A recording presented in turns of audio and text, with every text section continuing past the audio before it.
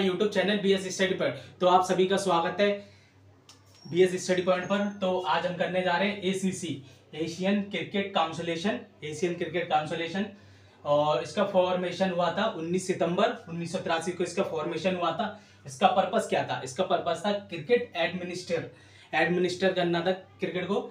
और इसका हेडक्वार्टर कहाँ पर है? इसका हेडक्वार्टर है कोलंबो, श्रीलंका में इसका हेडक्वार्टर है। कोलंबो, श्रीलंका में इसका हेडक्वार्टर इसका रीजन क्या है? इसका रीजन है एशिया एशिया के लिए ही बना गया था ये। और मेंबर कितने इसमें? मेंबर है ट्वेंटी फाइव मेंबर है इसमें, पच्चीस मेंबर है।